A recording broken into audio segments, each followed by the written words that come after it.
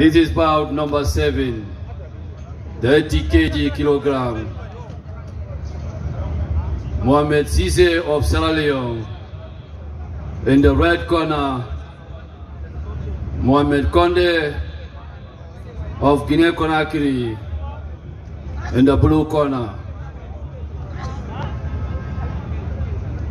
The referee officiating this bout is Amadou Saraba of Guinea Conakry.